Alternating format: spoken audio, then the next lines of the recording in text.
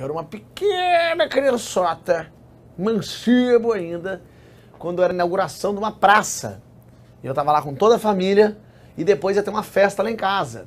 Então toda a família ia lá pra casa, com os amigos do meu pai e tal. E eu fui abandonado na praça.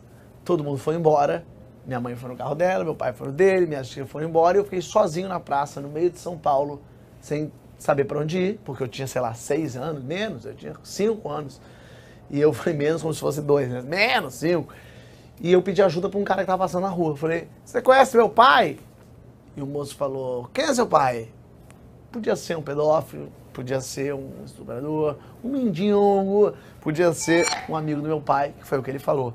Eu conheço, conheço seu pai, posso te levar para casa dele, entre no meu carro. O que eu fiz? Entrei no carro dele e ele me levou para casa do meu pai, porque por sorte ele era amigo do meu pai.